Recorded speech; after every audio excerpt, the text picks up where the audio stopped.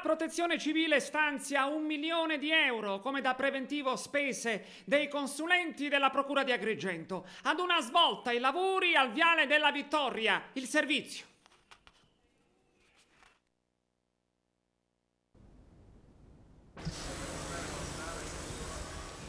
Ad Agrigento, alla Viale della Vittoria, franerà un milione di euro. Tanto occorre spendere per recuperare sicurezza dopo il disastroso crollo dello scorso 5 marzo.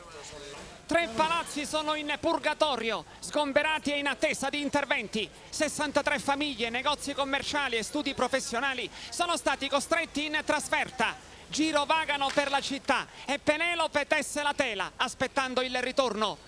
Il magistrato titolare delle indagini, Andrea Maggioni, si è rivolto a due consulenti.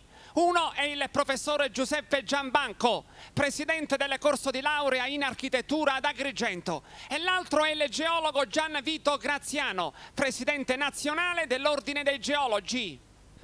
Gianbanco e Graziano hanno subito firmato il preventivo spese, un milione di euro e la protezione civile ha risposto ok e ha sganciato i soldi. Il tutto è stato sancito da un protocollo e la prossima settimana forse iniziano le opere. Il primo obiettivo è rendere abitabile il Palazzo Crea più a rischio perché travolto dalla costone così che anche il Viale della Vittoria sarà restituito al transito, almeno ad una sola corsia.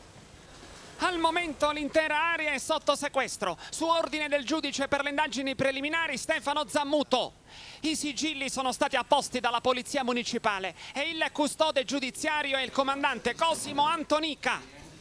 Il sostituto Maggioni indaga per disastro colposo e ha iscritto nel registro degli indagati Maria Isabella Sollano e i suoi figli Oreste e Valentina Carmina, che sono i proprietari dei terreni franati, anche se da oltre vent'anni gli stessi terreni sarebbero nella disponibilità del comune di Agrigento.